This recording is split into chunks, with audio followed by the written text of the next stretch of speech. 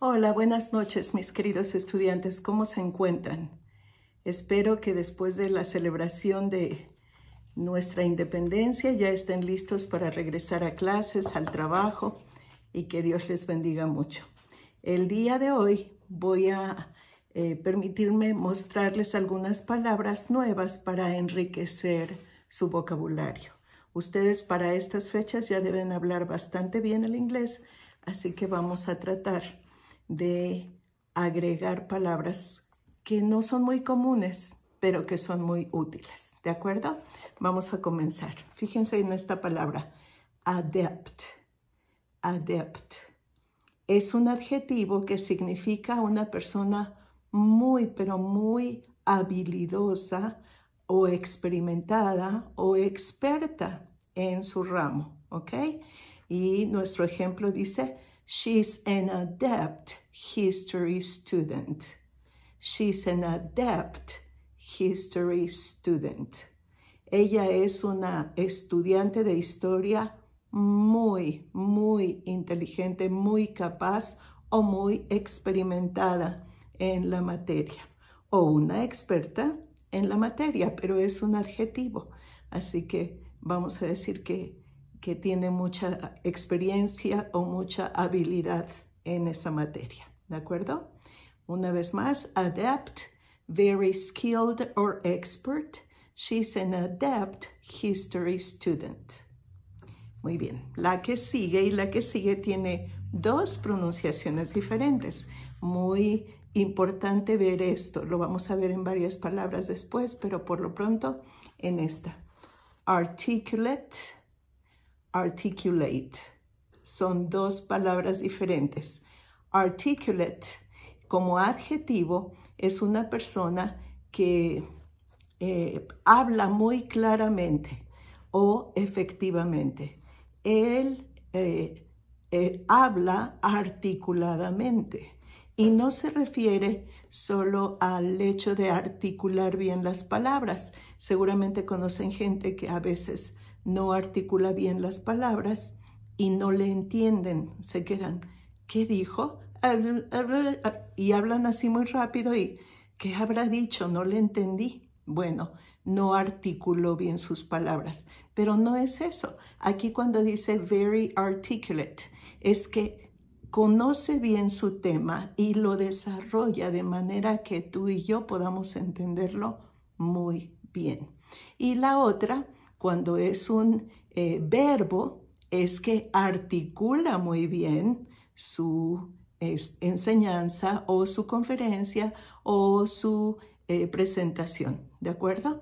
Puede ser articulate, he is very articulate, él es muy articulado, podríamos decir, o habla muy claramente. Y como verbo, he speaks very articulate, articulate. Él, oh, perdón, he um, articulates very well. He articulates very well. Él articula, se expresa muy correctamente o efectivamente. ¿De acuerdo? Y tenemos aquí los dos ejemplos. Dice, today's lecturer was so articulate. We all got his point. Today's lecturer, y cuando decimos lecturer, es el conferencista. El conferencista de hoy was so articulate. Fue tan articulado. We all got his point. Todos entendimos su punto. ¿De acuerdo? Ahora lo vamos a ver como verbo. Dice, when you present your essay, be very articulate. Y fíjense la diferencia. Articulate, articulate, articulate. When you present your essay, be very articulate. So everybody understands. Cuando tú hagas o presentes tu ensayo, sé muy articulado para que todos lo entiendan. ¿De acuerdo? Muy bien. Espero que les quede claro. Y vamos a ver una más. Conducive. Conducive. Conducive is help um, and outcome possible. Helps to have an outcome possible. ¿Qué significa esto?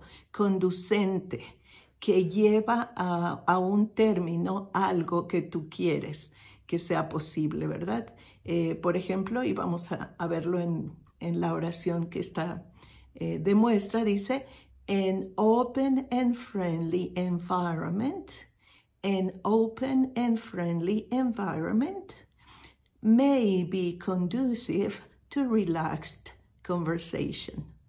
An open and friendly environment may be conducive to relaxed conversation. Un eh, medio ambiente abierto y amigable puede ser conducente a una conversación relajada. ¿Se fijan a lo, lo que significa conducive? Y por lo general lleva to, conducive to, conducive to a good a term, conducive to a good conversation, conducive to a nice weather, etc. ¿Ok? Y por último, esta palabra, difference. Difference. No es diferencia, difference. Nosotros usamos esta palabra también, deferencia. Gracias por la deferencia que me haces. Y se habla de respeto, de, una, de un reconocimiento eh, a la persona, ¿verdad? Pues eh, es más o menos lo mismo en inglés. Difference, respectful submissive, submission or uh, courteous regard for another person or to another person. Deference, respectful submission, una sujeción o sumisión respetuosa. Courteous, cortés, regard, un reconocimiento cortés a otra persona. Y fíjense en el ejemplo que puse aquí. Children, regardless of age, children, regardless of age, should treat their father and mother with deference. Los niños, sin importar la edad, deberían tratar a su padre y a su madre respetuosamente. ¿De acuerdo? Perdón, espero que les haya gustado y les sea de mucha utilidad. Hasta pronto.